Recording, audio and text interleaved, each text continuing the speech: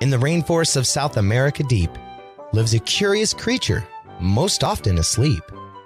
It naps in the day and slumbers all night. A fast moving sloth is an unusual sight. Hanging high from a treetop, upside down, was a cute little monkey, hairy and brown. Sam nodded his head and, with a happy face, he said to the monkey, Would you like a race?